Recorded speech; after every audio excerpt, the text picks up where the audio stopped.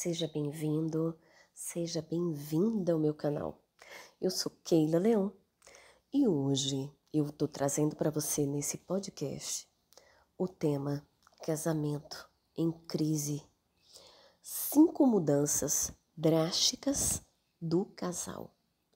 Entenda que um casamento em crise desencadeia uma série de problemas para o casal, tanto no que refere à convivência quanto na questão pessoal, ou seja, ambos sofrem com as brigas, incluindo os filhos. De acordo com o IBGE, o número de divórcios no Brasil anualmente chega a 140 mil e cresce 75% a cada cinco anos. Um número assustador. Certamente seria bem menor se os cônjuges aprendessem como administrar conflitos matrimoniais. As, os principais problemas dos relacionamentos atuais são dificuldade de diálogo, excesso de cobranças, ciúmes e desconfiança, ofensas verbais e físicas, um cônjuge sempre criticando o outro, terceiros dando palpite nas elas, na relação, um cônjuge sufocando o outro, falta o excesso de individualidade pequenas mentiras, falta do momento de pimba-pimba, aquele momento íntimo a dois. Visto isso, somente através de um trabalho contínuo o casal consegue solucionar os problemas e superar o casamento em crise. Então, confira a seguir as mudanças urgentes que precisam ser feitas. Então, vou trazer para vocês aqui cinco ações urgentes para superar um relacionamento em crise né? Primeiro, acabem com o silêncio ensurdecedor no casamento. Inegavelmente, a falta de diálogo é o primeiro problema detectado no casamento em crise. Nesse sentido, as brigas passam a ser a linguagem do casal. Ou seja, não há mais nenhuma chance de comunicação. Uma discussão calorosa, deboche, ou ofensas verbais servem apenas para deixar mágoas e aumentar o grau de raiva. Assim sendo, não há troca de informações para resolver o problema. Por isso você precisa chamar sua parceira para sentar e conversar. Explique para ela que está levando a bandeira branca, você está levantando a bandeira branca, que não pretende brigar. Então, esteja aberto para ouvir tudo o que ela tem a dizer, inclusive críticas. Do mesmo modo, fale para ela se esforçar para fazer o mesmo e ouvir os seus questionamentos, seus pensamentos. No entanto, apenas diga tudo o que te deixa incomodado. Evite ofender, piadinha e cobrança excessiva, tá? Lembre-se que estão em um processo de negociação e o objetivo é buscar o denominador comum.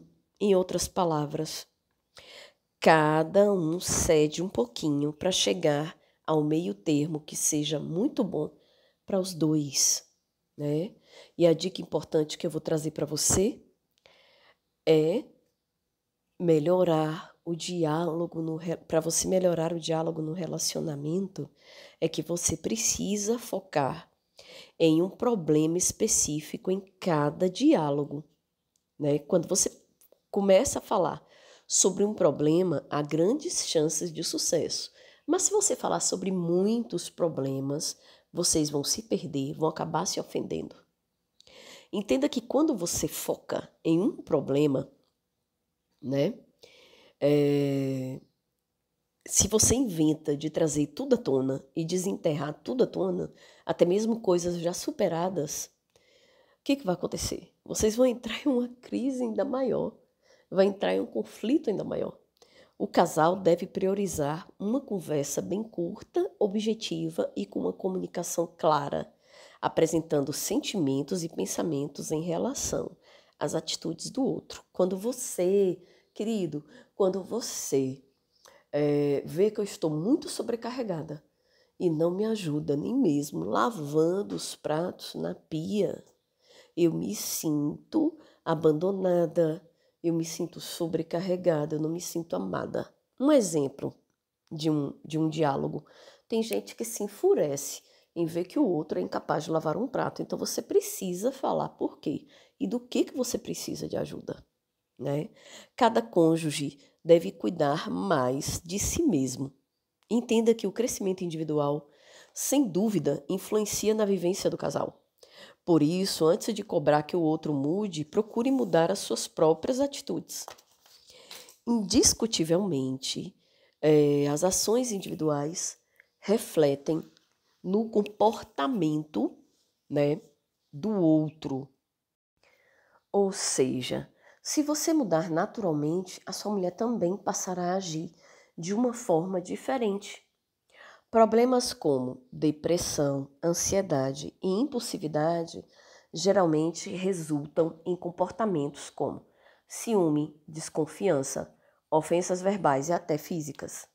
Por isso, buscar a ajuda profissional de um psicólogo pode ser um passo importante para melhorar a vivência dentro do relacionamento. Em suma, antes de exigir a mudança no outro, busque mudar a si mesmo. Entenda que no casamento em crise, geralmente há muita rigidez de ambos os cônjuges. Ou seja, começa a ter um jogo de poder e ninguém cede. Nesse sentido, aumentam-se as cobranças e diminui-se a cumplicidade. Entenda que para se construir uma boa relação é indispensável haver negociação. Cada um cede um pouquinho para se chegar a um denominador comum. Imagine que queira comprar um carro usado no valor de 30 mil.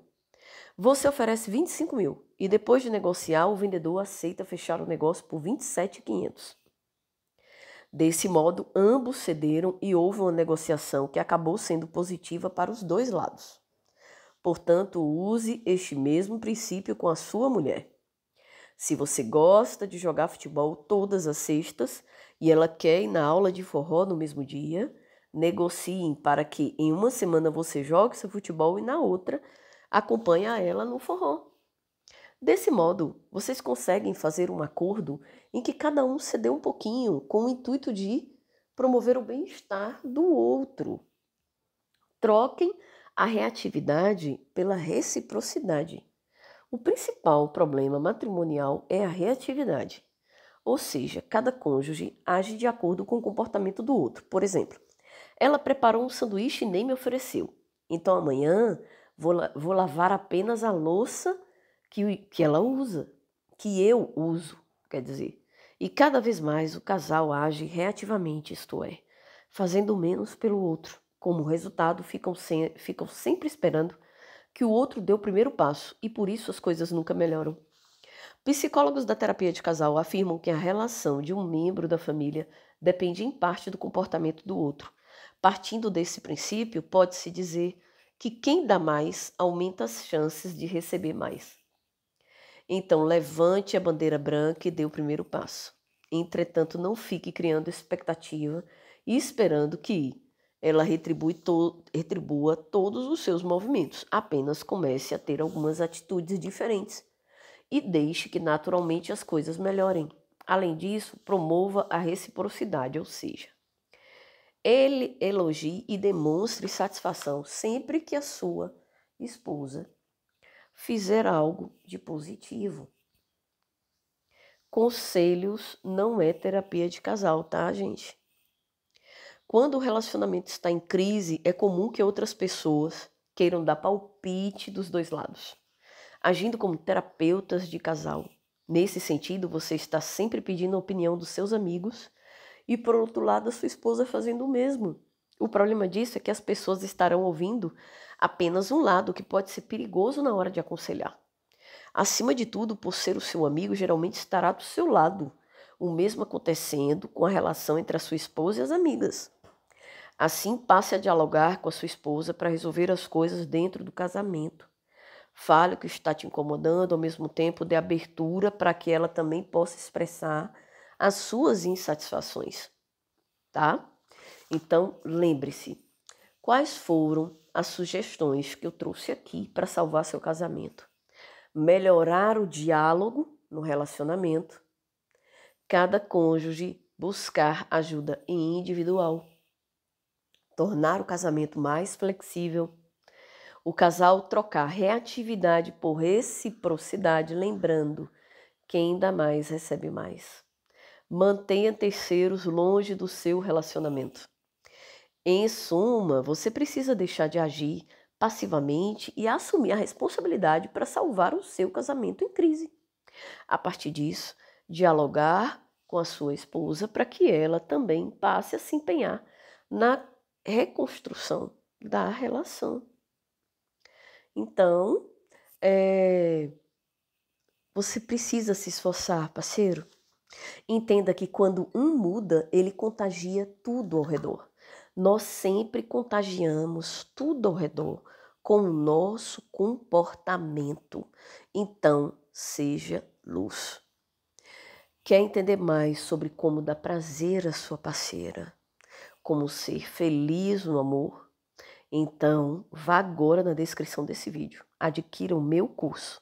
Ele vai mudar a sua mentalidade, trazer mais entendimento para a sua vida. Invista na sua vida amorosa, na sua qualidade de vida.